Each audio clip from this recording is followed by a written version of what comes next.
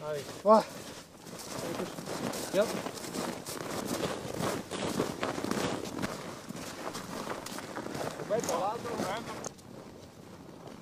So it's a pleasure for me to award you the Italian wing finally here in the Alpe di Siusi.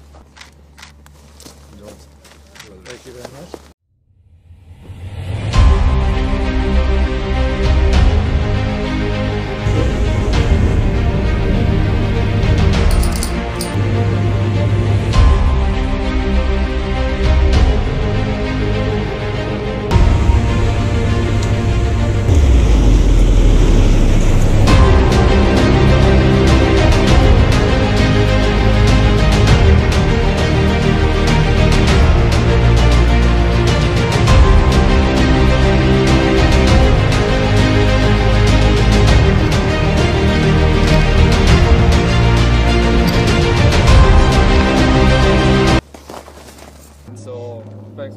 ben,